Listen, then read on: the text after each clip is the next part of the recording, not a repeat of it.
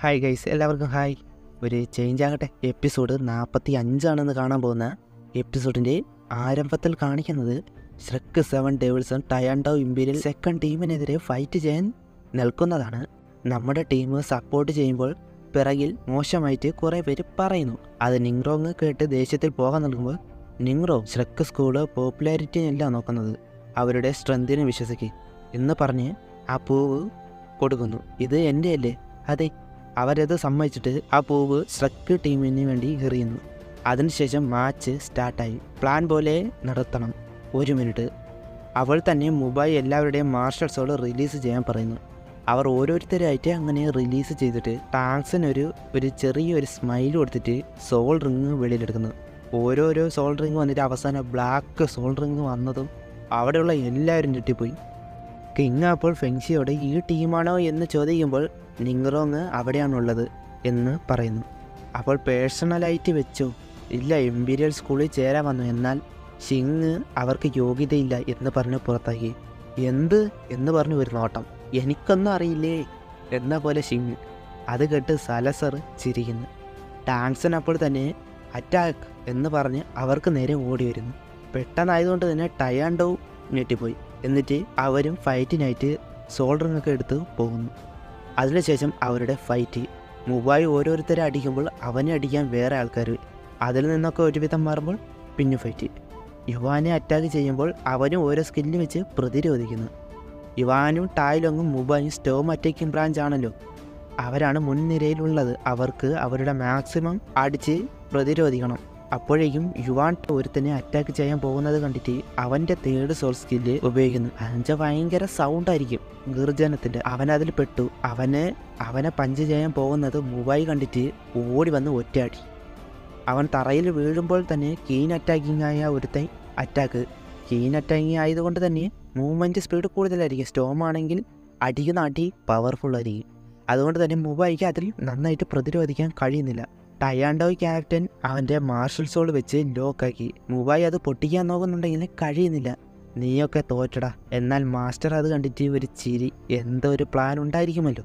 Controlling ബ്രാഞ്ചിലുള്ള ഒരു പെണ്ണ് third സോൾസ്കിതി ഉപയോഗിക്കാൻ വന്നത് ടാങ്സൻ ആ ബ്ലൂ സിൽവർ പ്ലാന്റ് വെച്ച് തടയുന്നു. തോൽക്കുന്നത് നിങ്ങളാണ്. അപ്പോൾ തന്നെ fourth skill blue silver cage ടയാൻഡൗൽ എല്ലാവരെയും ലോക്കാക്കി. അത് കണ്ട് എല്ലാവരും ഞെട്ടിപ്പോയി. അവന്മാർക്ക് അത് പൊട്ടിക്കാൻ പോലും കഴിയുന്നില്ല.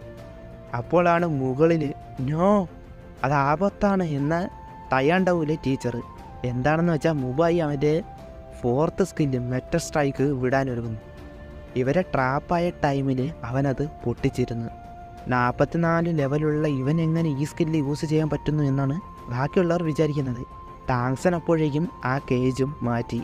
അതുകൊണ്ട് തന്നെ എന്താ അവർക്ക് അതിൽ നിന്ന് നന്നായി അടി കിട്ടുകയും ചെയ്ത്. ചുരുക്കം പറഞ്ഞാൽ അവർ ആളെറിഞ്ഞ് കളിച്ചില്ല. ഓരോരുത്തന്മാരും പറന്നൊക്കെ പോയാണ് വീഴുന്നത്. പെണ്ണ് തറയിലിറങ്ങുമ്പോൾ ഷിയാവിന്റെ എൻട്രി. അത് മസ്റ്റാണല്ലോ അവളെ തൂക്കിയെടുത്ത് നിലത്തിട്ട് അടിയന്. ഇത് ഇത് ഇത് മാച്ചല്ല. റിവഞ്ചാണ് എന്ന് പറഞ്ഞ അവന്മാരുടെ ടീച്ചർ അവന്മാരെ അങ്ങനെ തോറ്റു. ടീമാണെങ്കിൽ ഒരു ഗത്തിൽ നൽകുന്നു അവർ ജയിച്ച് എന്ന് പറയാൻ വന്നതും അവരുടെ ടീച്ചർ തടഞ്ഞിട്ട് അവരെ കൊന്നു എന്ന് പറയുന്നു. അപ്പോൾ ടാങ്സൻ അവരെ കൊന്നു എന്ന് നോക്കിയേ. ജിയാങ് ഷൂവിനെ കാണിച്ചിട്ട് ഇത് സപ്പോർട്ടിംഗ് ബ്രാഞ്ച് അവളുടെ മാർഷൽ സോൾ വെച്ച് അവരെ ഹീലും ചെയ്യുന്നുണ്ട്. അതില്ലെങ്കിൽ അവർ വീണു. പിന്നെ ആ ടീച്ചറിന് ഒന്നും പറയാൻ പറ്റുന്നില്ല.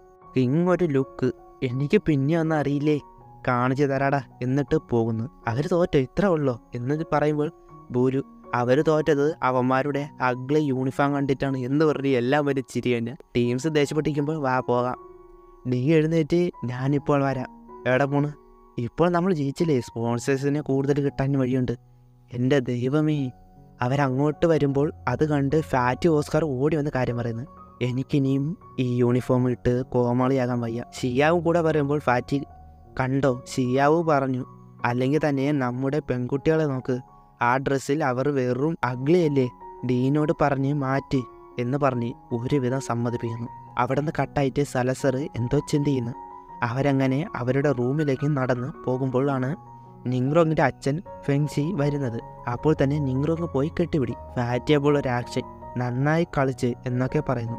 ടാങ്സിനോട് ബ്ലാക്ക് സോൾഡറിന് കിട്ടിയതിൽ അവനെ അഭിനന്ദിക്കുമ്പോൾ ടയാൻഡോ നിങ്ങളെ സ്കൂളിലേക്ക് എടുക്കുന്നു എന്ന് പറയുമ്പോൾ വേണ്ട നമ്മൾ ശ്രക്ക് സ്കൂളിൽ തന്നെ നിന്നോളാം. ഫെൻസി അത് നല്ല കാര്യം. നിങ്ക്രോങ്ങിനോട് കൂടെ പോയി സേഫായി ഇരിക്കാൻ പറയുന്നു. നമ്മൾ സ്ട്രോങ് തന്നെയാണ് അവളാണ് ഓസ്കാറിനെ നോക്കുന്നത്.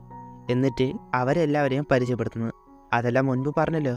ടീംസിന്റെയും പരിചയപ്പെടുത്തുന്നുണ്ട്. കാരണം അവർ മുൻപേ കണ്ടതിലേ ഉള്ളൂ. അതിനുശേഷം ഓസ്കാറിനെ പരിചയപ്പെടുത്തുന്നു. ഇവൻ ഇവനാണ് രണ്ടാമത് വന്നത്. പേര് ഓസ്കാർ. നാൽപ്പത്തൊന്ന് ലെവൽ ഫുഡ് ബ്രാഞ്ച്. അത് കേട്ട് ഫെൻസിക്ക് അതിശയം. നിങ്ങൾ ക്യുബാവ് ട്രൈബിനെ ഇങ്ങനെയാക്കി എടുത്തതിൽ ഞാനാണ് അഭിനന്ദിക്കുന്നത്. ഞാൻ നിങ്ങളുടെ ട്രൈബിൽ ജോയിൻ ആകട്ടെ.